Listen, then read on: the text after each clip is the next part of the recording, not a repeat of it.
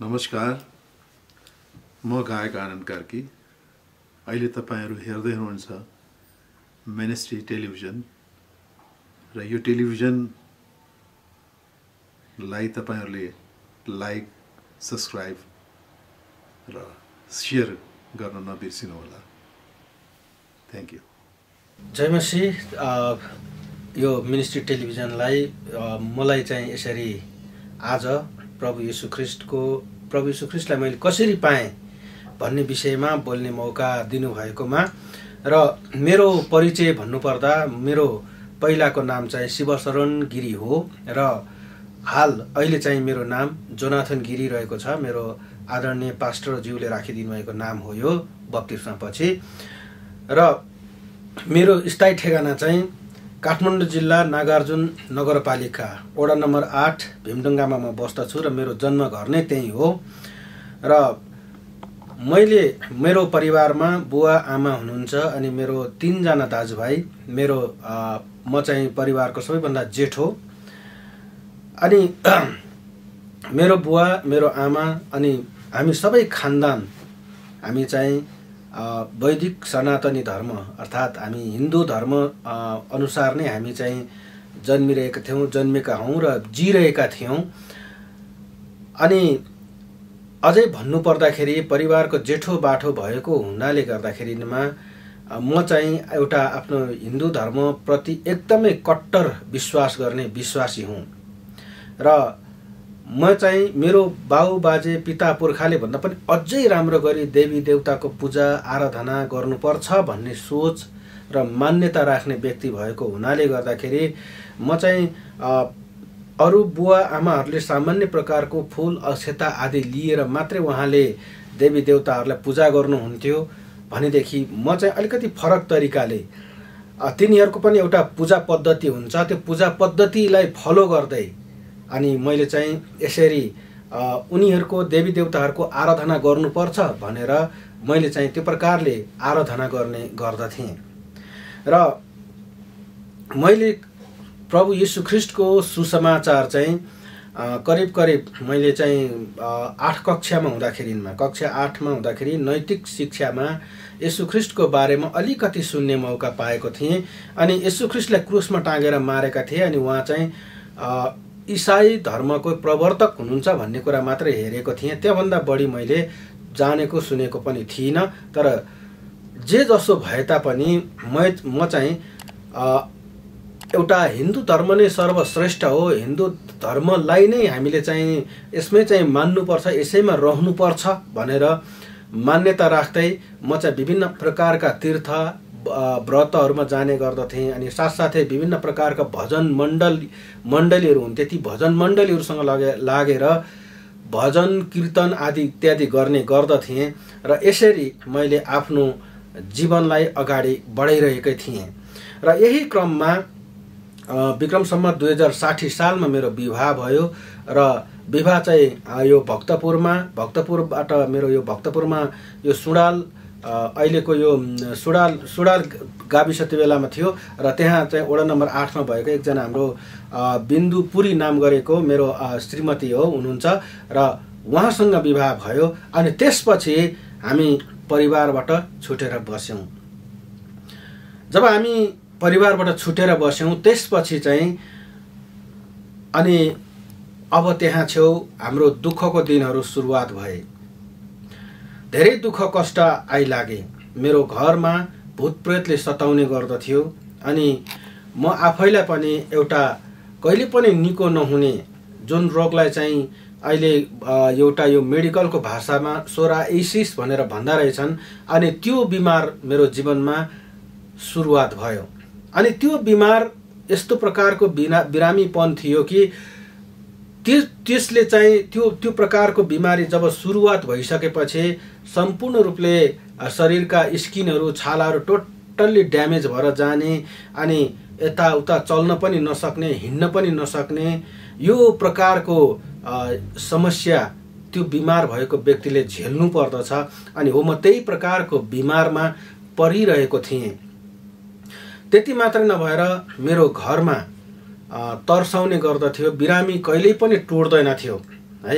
अनि मेरो परिवारमा कहिले छोरा बिरामी कहिले श्रीमती बिरामी कहिले म आफै बिमारी यो प्रकारको बिरामीपन कहिले पनि टुट्दैन थियो अनि आर्थिक अभाव र घटी कमीको कुरा गर्नुहुन्छ भनेदेखि हामीलाई दुई छाक अथवा एक छाक खानलाई पनि धौधौ थियो। बिहान खाएपछि बेलुका अब के के खाने बेलुका खाएपछि बिहान अब के खाने भनेर अगाडि नै प्लान बनाएर बस्नुपर्ने हुन्थ्यो।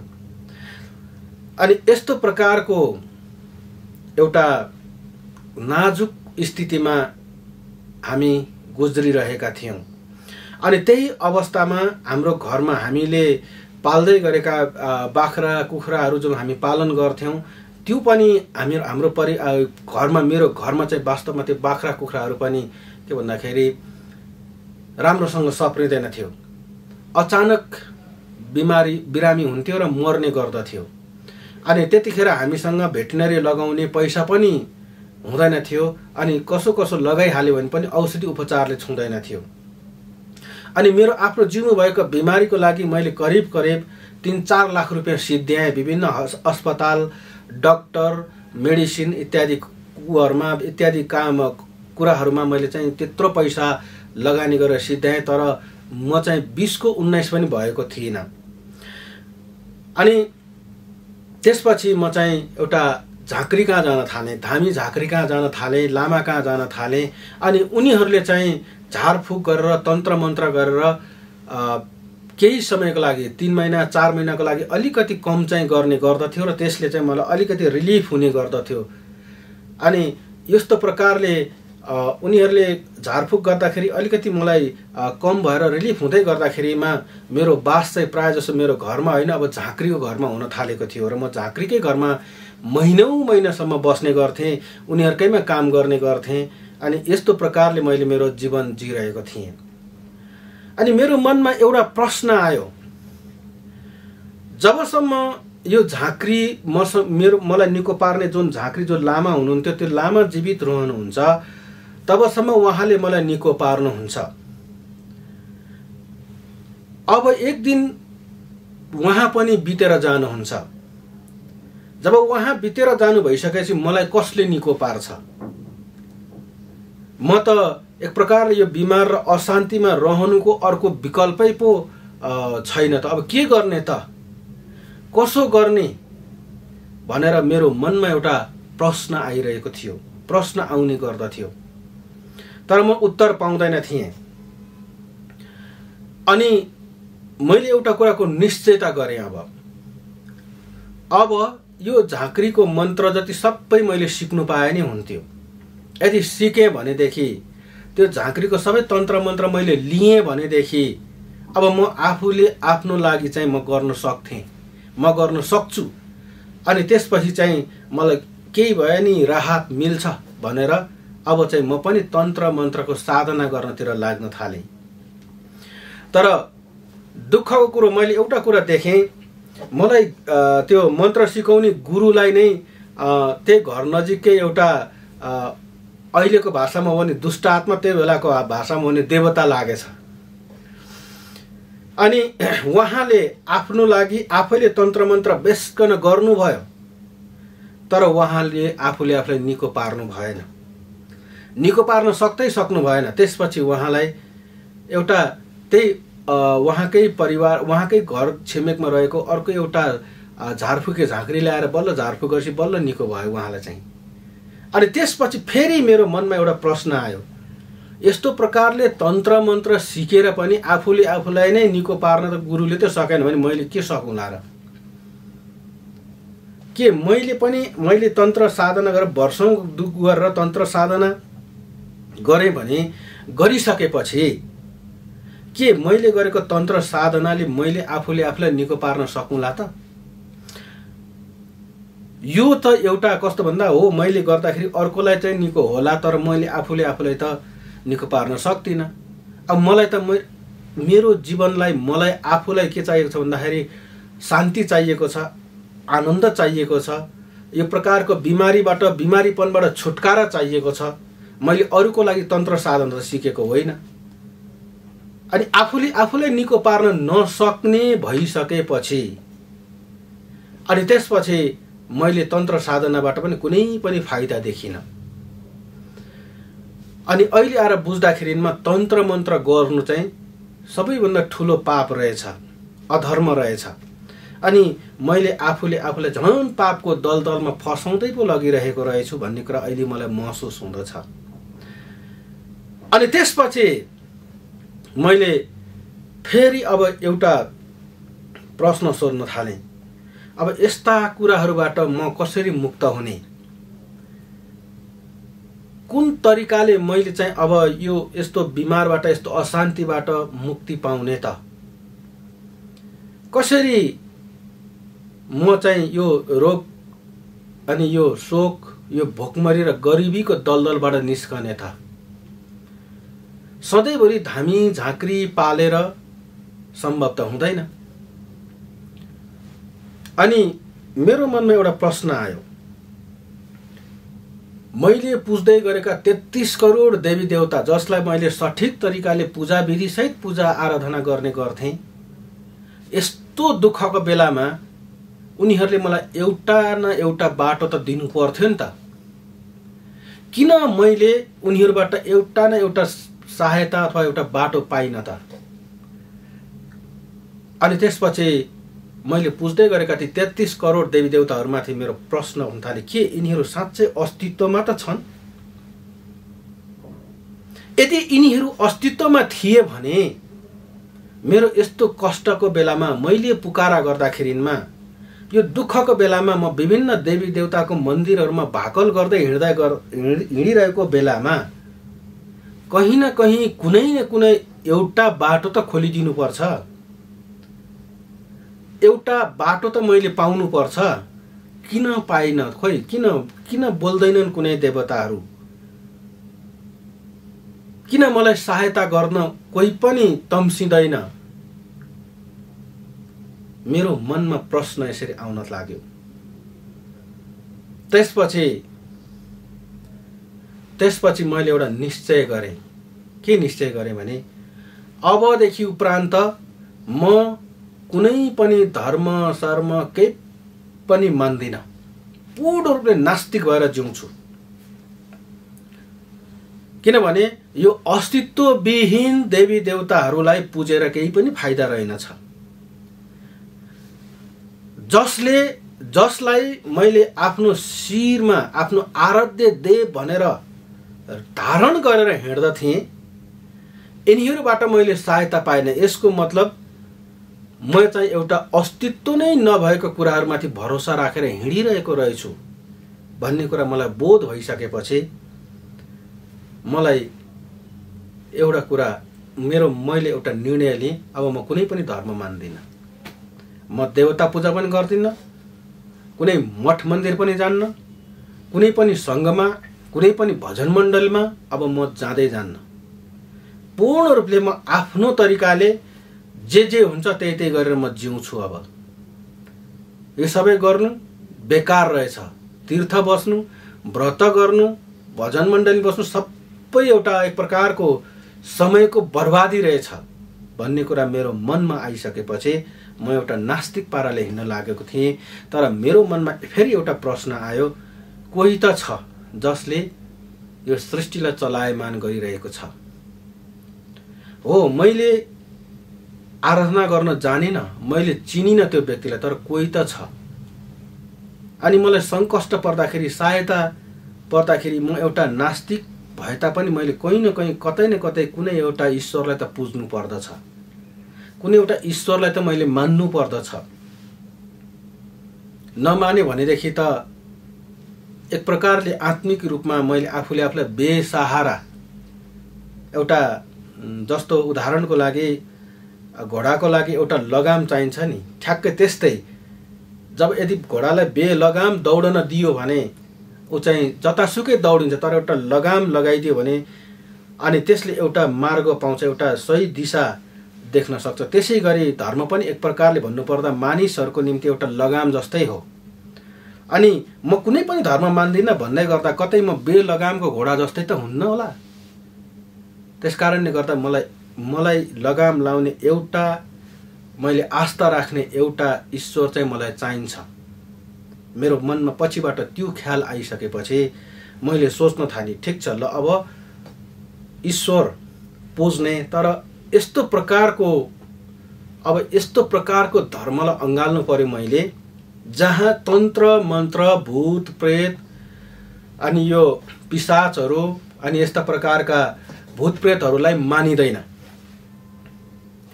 भूतप्रेत पनि न नमान्नु नपर्ने तन्त्र मन्त्र पनि नभएको बोक्सी विद्या इत्यादि प्रकारको कुरालाई कुराले जहाँ चाहिँ स्थानै पाउँदैन हो त्यस्तो प्रकारको धर्ममा चाहिँ म प्रवेश गर्छु। भनेर मैले आफूले अब त्यो धर्मको मैले तलास गर्न लागेँ। अनि तलास गर्दै जाने क्रममा सबैभन्दा पहिला मैले अब हाम्रो नजिकै छरछिमेकमा रहेको बुद्ध धर्मको विषयमा हेर्न थालेँ। बुद्ध धर्मको विषयमा हेर्दै गर्दा गर्दै जाँदाखेरिमा त्यहाँ पनि लामाहरूले तन्त्र मन्त्र गर्ने कुरा अनि त्यसपछि भेद गर्ने कुराहरू अनि त्यसपछि विभिन्न प्रकारका मन्त्र साधनाहरू भूतप्रेतहरू पुज्ने कुराहरू पाइसकेपछि मैले त्यसलाई पनि इन्कार गरिदिएँ छोडिदिएँ। त्यसपछि मैले फेरि अब अर्को विकल्पको रूपमा मैले सोचेँ किन म मस्जिदतिर गएर मुसलमान नबनाउँ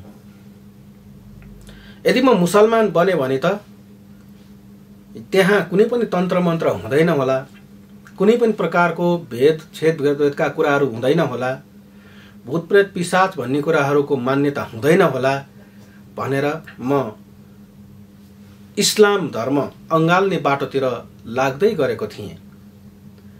अनि त्यो विषयमा अध्ययन गर्दै जाँदाखेरिमा त्यहाँ भूत प्रेत पिसाचलाई भूत प्रेत पिसाचको नामले त न नपुकारिँदो रहेछ तर त्यहाँ चाहिँ इबलिस अनि त्यसपछि गएर इबलिसका सेना अनि सैतान यस्ता प्रकारको नामहरूद्वारा पुकारिँदो रहेछ।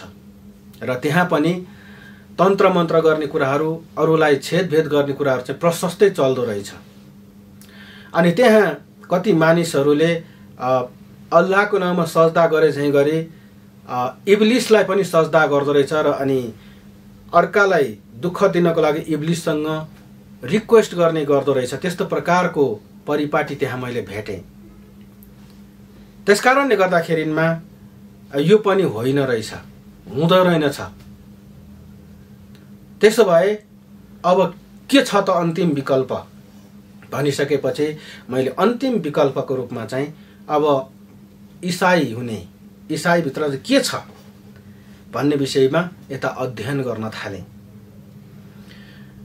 अनि अब चाहिँ चर्चमा जानु पर्यो अब चर्चमा गएर बुझ्नु पर्यो र यदि मिल्ने रहेछ र हुने रहेछ भने अब चाहिँ यसु भन्ने एकजना अमेरिकनहरूको देवता छ। त्यो अमेरिकनहरूको देवतालाई चाहिँ पुज्नु पर्ला भनेर मैले सोच्ने गर्थेँ। किनभने त्यतिखेर यसु ख्रिस्ट कहाँ जन्मिनु भएको हो अनि को हुनुहुन्छ भन्ने कुरा चाहिँ मलाई थाहा थिएन। मलाई यति मात्र थाहा थियो कि क्रिस्चियनहरू भनेको चाहिँ धेरै जस्तो अमेरिकामा हुन्छन्। त्यस कारणले अमेरिकनै धर्म हो भन्ने चाहिँ मैले बुझेको कारणले गर्दाखेरिमा अब चाहिँ चर्चमा गएर एकचोटि बुझ्न मन लाग्यो मलाई। अनि चर्च खोज्दै गएँ। चर्च खोज्दै जाने क्रममा मलाई चर्चमा लिएर जाने एकजना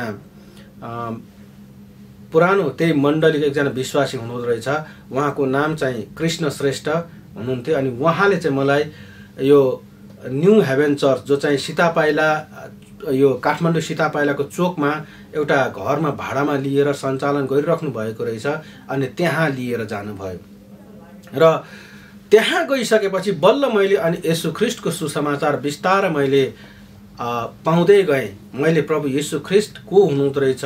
अनि यसु ख्रिस्टको शक्ति चाहिँ कस्तो रहेछ?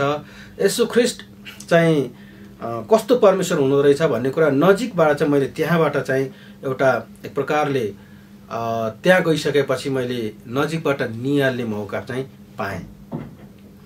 अनि त्यो चर्चमा म जुन दिन गएँ त्यो दिन त्यो हप्ता शनिबार रहेछ। अनि शनिबारको त्यो पहिलो हप्ताको आराधना सेवा रहेछ। अब आफू त म केही पनि नजान्ने पछाडि बसेको थिएँ अनि सबैजना उठेर आराधना गरे।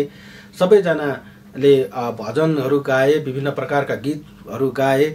अनि त्यहाँ गवाई भन्ने हुँदो रहेछ अनि गवाईहरू भने र अन्तमा गएर यो वचन दिने समय भन्ने रहेछ त्यो वचनको समयमा त्यो वचन पनि सुने र त्यो दिन म फर्केर आएँ। त्यसपछि दोस्रो हप्तामा गएँ। अनि दोस्रो हप्तामा गएर अनि मैले चाहिँ त्यहाँ चर्चमा गइसकेपछि यसरी मैले मनमा नै एउटा चुनौतीपूर्ण कुराहरू बोलेँ। हे क्रिस्चियनहरूका परमेश्वर सबैले तपाईँ चाहिँ सत्य हो भनेर भनेको मैले सुनेको छु र तपाईँले मानिसहरूको दुःखलाई हरण गर्न सक्नुहुन्छ अरे। तपाईँले चाहिँ मानिसहरूलाई रोगीहरूलाई निको पनि पार्नुहुन्छ अरे। यदि तपाईँ सत्य परमेश्वर हो भने मेरो यो शरीरमा भएको सोराइसिसलाई निको पारेर देखाउनुहोस्। यद्यपि मैले यसको लागि थुप्रै पैसा सिद्धाइसकेँ थुप्रै मैले म ऋणमा परेको छु थुप्रै धामी झाँक्री पार्ने। अब तपाईँ सत्य परमेश्वर हो भनेदेखि तपाईँ साँचो हुनुहुन्छ भनेदेखि मेरो शरीरमा भएको सोराइसिसको बिमारलाई तपाईँले निको पारेर देखाउनु भयो भने अनि म विश्वास गर्छु तपाईँ चाहिँ सत्य परमेश्वर हुनुहुँदो रहेछ। अनि त्यसपछि तपाईँले मलाई जसरी निको पार्नुभयो त्यो कुरा चाहिँ म अब अरू मानिसलाई पनि बताउँदै जानेछु। ल अब चाहिँ तपाईँ सत्य परमेश्वर हो भने चाहिँ तपाईँले मलाई निको पार्नुहोस् भनेर मैले यस्तो प्रकारले आफूले आफूलाई नै आफूले एक्लै मैले चाहिँ त्यो चर्चभित्र बसेर एउटा चुनौतीपूर्ण तरिकाले अहिलेको भाषामा पनि प्रार्थना गरेको थिएँ। अहिले चाहिँ त्यो मैले प्रार्थना गरेको रहेछु। त्यो बेलाको पीडामा चाहिँ मैले अब त्यसलाई प्रार्थना पनि भन्ने कुरा मैले बुझेको थिइनँ। किनभने म त्यतिखेर असाध्यै तनावमा थिएँ पीडामा थिएँ। अनि म ठुलो समस्या भएर गुज्रिरहेको अवस्थामा थियो र त्यतिखेर अब प्रार्थना कसरी गर्नुपर्छ? अनि पास्टरहरूले प्रार्थना गरिदिँदाखेरिमा निको हुन्छ? पास्टरहरूले प्रार्थना गरिदिँदाखेरिमा समस्याको समाधान हुन्छ भन्ने कुरा चाहिँ मैले बुझेको थिइनँ। अनि म चाहिँ पहिले जस्तो मठ मन्दिरमा गएर मूर्तिको अगाडि जसरी बरबराउँथेँ म त्यसै गरी चर्चभित्र पसेर खालि त्यो यति शब्द मात्रै बरबराएको थिएँ। मैले अरू केही पनि भनेको थिएन। अनि यति भनिसकेपछि म चाहिँ त्यसको एक हप्ता पनि नबित्दै अर्को शनिबार मण्डली जाने बेलासम्ममा मेरो पचास प्रतिशत रोग निको भइसकेको थियो। अनि त्यसपछि म फेरि त्यो हप्ता पनि गएँ त्यही प्रार्थनालाई फेरि त्यसै गरी बरबराएँ। साँच्चै नै तपाईँ सत्य नै हो कि कसो हो? मेरो पचास प्रतिशत रोग त निको भयो। अब बाँकी पचास प्रतिशत कहिलेसम्म निको हुन्छ? यदि तपाईँ सत्य हो भने यसलाई पूर्ण रूपले निको पारेर देखाउनुहोस्। भनेर मैले फेरि पनि यसै गरी बरबराएँ त्यो चर्चभित्र पसेर। आराधना सेवाको बेलामा। अनि नभन्दै त्यसको अर्को हप्तामा चाहिँ म शत प्रतिशत निको भएँ। अनि त्यसपछि म निको भएको कुरा मेरो श्रीमती मेरो बुवा आमा सबैलाई मेरो शरीरमा निको भएको त्यो घाउहरू देखाउँदै मैले भन्न थालेँ। हेर्नुहोस् तपाईँहरूले पुज्दै गरेको देवता भगवान्ले सहायता गरेन तर जसलाई विदेशी देवता भनेर तपाईँ हामीले हेला गरेका थियौँ। उहाँले चाहिँ मलाई निको पार्नुभयो सहायता गर्नुभयो। म चाहिँ चर्चमा गएर निको भएँ भनेर मैले घरमा बुवा आमा श्रीमतीलाई भन्न थालेँ। त्यसपछि बुवा आमाबाट अलिकति विरोधको जस्तो आवाज आयो श्रीमतीबाट पनि विरोधको जस्तो आवाज आयो। र पनि मैले चाहिँ भने बरु म बुवा आमालाई छोड्न तयार छु। मेरो श्रीमतीलाई छोड्न तयार छु। म धन सम्पत्ति पुर्ख्यौली अंश सबै कुरा छोड्न तयार छु तर अब चाहिँ म यसुलाई चाहिँ छोड्दिनँ। किनभने यस्तो सहायता गर्ने ईश्वर आजसम्म कोही पनि मेरो अगाडि आएको छैन। मैले जसलाई आफ्नो देवता आफ्नो ईश्वर भनेर पुजिरहेको थिएँ त्यसबाट मैले यत्रो लगभग त्यतिखेर म त्यस्तै बाइस वर्षको थिएँ। बाइस वर्षसम्म आराधना गरेर पुजेको देवी देवताले जवाफ दिन सकेन। तर आज दुई हप्ता मात्रै पछाडि बसेर ठाडो भाषामा चुनौती दिएर मैले तिरस्कारपूर्ण शब्दहरू प्रयोग गर्दै बरबराएको भरमा त्यो यसु ख्रिस्टले मलाई चाहिँ निको पार्नुभयो। भनेपछि अब सत्य चाहिँ मैले यसुलाई भेट्टाएको छु। मलाई सहायता गर्ने हुने चाहिँ यसु ख्रिस्ट हुनुहुँदो रहेछ। मलाई दुःखबाट निवारण गर्नुहुने चाहिँ यसु ख्रिस्ट हुनुहुँदो रहेछ। मलाई निको पार्ने शक्ति भएको मलाई सहायता गर्ने सत्य ईश्वर चाहिँ यसु हुनुहुँदो रहेछ भन्ने कुरा मैले बुझेको छु। यस कारणले गर्दा अब उपरान्त म यसु ख्रिस्टलाई कहिले पनि छोड्नेवाला छैन भनेर मैले आफ्नो विश्वासलाई उहाँहरूको माझमा प्रकट गरिसकेपछि अनि बुवा आमाले मलाई छोडिदिनु भयो र श्रीमतीले पनि ल ठिकै छ तिमीलाई अब म मेरो माइत चाहिँ जानु पर्दैन तिमी आफ्नो विचार गर भनेर छोडिदिन्। र यस्तो प्रकारले म विश्वासमा बढ्दै गएँ। त्यसपछि मेरो बास भनेको प्राय चर्चमै हुन थाल्यो। पास्टरहरूसँग मेरो सङ्गतिहरू बढ्दै जान थाल्यो र थप प्रभु येसु ख्रिस्टको बारेमा सिक्दै सिक्दै अगाडि बढ्दै जान थालेँ। र अनि मैले मेरो परिवार मेरो श्रीमतीको लागि अनि चाहिँ मैले बल्ल प्रार्थना गर्न थालेँ। अनि मेरो घर परिवार श्रीमती बुवा आमाको लागि प्रार्थना गर्दै जाँदाखेरिमा अनि त्यहाँ एउटा चमत्कार हुन थालेछ। जुन दिन म घरमा हुन्छु त्यो दिन भूतले तर्साउन नआउँदो रहेछ। खराब सपनाहरू नदिँदो रहेछ मेरो श्रीमती र बुवा आमालाई। अनि जुन दिन म घर छोडेर हिँड्छु त्यसपछि त्यहाँ चाहिँ भूतात्माले तर्साउने खराब सपनाहरू आउने गाईबस्तुहरू बिमारी हुने यस्तो प्रकारको समस्या हुँदो रहेछ। अनि त्यसपछि मलाई मेरो श्रीमतीले भन्नु थालिन् होइन तपाईँ घरमा हुँदा हामी आनन्दले सुत्छौँ आनन्दले बस्न पाउँछौँ तर तपाईँ घरबाट निस्कने बित्तिकै हामीलाई फेरि पनि समस्या हुन्छ। के हो यस्तो? भनेर भन्न थालिन्। अनि यस्तै उसमा चाहिँ अब नि मैले चाहिँ एउटा श्रीमतीसँग भने अब चाहिँ हामी घरेलु सङ्गतिहरू राखौँ। अब हाम्रो पनि घरमा म चाहिँ पास्टरहरूलाई बोलाउँछु। सबैले घरेलु सङ्गति राख्दो रहेछ। अनि हामीले पनि अब चाहिँ के भन्दाखेरि घरेलु सङ्गति राख्नु पर्यो भनेर भन्दै गर्दाखेरिमा। अनि मेरो श्रीमतीले त मानेको थिइनन् तर मैले मेरो आफ्नो खुसीले राखेँ। अनि उहाँहरूको चाहिँ त्यतिखेर चाहिँ हप्तै पछि घरेलु सङ्गति दिने चलन थियो। अहिले चाहिँ अब न्यु हेभेन मण्डली ठुलो भएर वृद्धि भएको छ र अहिले पाँचवटा छवटा छोरी मण्डलहरू खुलिसकेको छ। अनि अहिले एकसाथ भेलाउँदाखेरि लगभग सात सय आठ सयजना विश्वासीहरू हुन्छन्। अनि त्यो अवस्थामा अब हप्तै पछि घरेलु सङ्गति दिन सम्भव छैन तर त्यो बेलामा चाहिँ चालिस पचासजना मात्रै भएको कारणले गर्दा त्यो सम्भव थियो। र अनि यसरी घरेलु सङ्गति दिँदै जाने क्रममा उता मेरो बुवा र आमा पनि अब मलाई राम्रो भएको देखिसकेपछि उहाँहरूले चाहिँ के रहेछ त भनेर बुझ्न थाल्नुभयो। किन भन्दाखेरि मलाई मेरो जीवनमा जुन सोराइसिसको समस्या थियो त्यो सोराइसिस त फेरि बुवालाई सरेछ। अनि बुवालाई सरिसकेपछि अनि मेरो बुवा पनि अब यो त अब यसरी चर्चमा गएर निको भएको रहेछ भनेपछि अब म पनि अब जान्छु किनभने मलाई पनि सर्यो मलाई पनि आयो भनेर उहाँ पनि अनि बुझ्न आउन थाल्नुभयो। र यसरी परमेश्वरले मेरो जीवनमा मेरो बुवाको जीवनमा र मेरो श्रीमतीको जीवनमा परमेश्वरले प्रभु येसु ख्रिस्टले एकदमै असल काम गर्नुभयो।